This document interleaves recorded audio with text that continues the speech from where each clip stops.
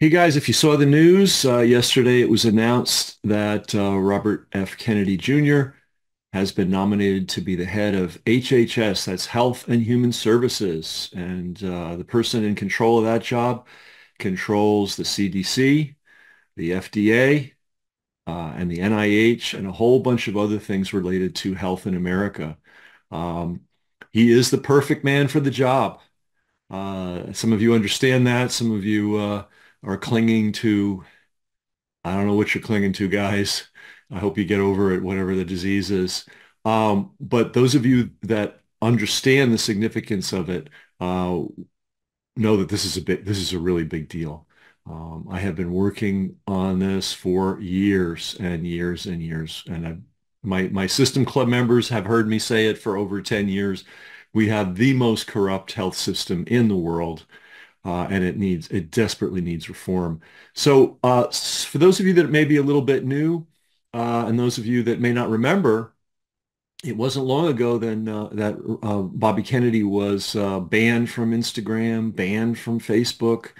what else did they do to him? They declared him the Dirty Dozen, and then he started working on a book, and he got help from yours truly, significant help, not only in the writing of the book uh, he he expanded what was going to be one chapter to five chapters based on my input. That's the book, uh, The Real Anthony Fauci. But he also got my marketing help. And uh, when you look at the history, and we're going to have a chronology below, the turnaround in his career uh, was that book. Uh, and we did get it to number one. We kept it at number one. I kept it up there for many, many weeks until I had to go do other things. And literally the week I left is the week it fell off and never recovered. But in any event, that book was a major turning point and a major breakthrough for him. I want to, I want you to see the ad that I created that we ran on launch day, and then go down and read the uh, the chronology below. And I have a new, I have a book out myself called How the Web Won. Um, it's not a coincidence that these kinds of things happen uh, frequently uh, with people that I work with, uh, large and small. I mean, what's that? What's that? Uh, no job too large, no job too small. Uh, that's always been my attitude. So uh, check out the video, check out the chronology, and then check out the history of the web and why we have a World Wide Web and not a Bill Gates dominated computer bulletin board.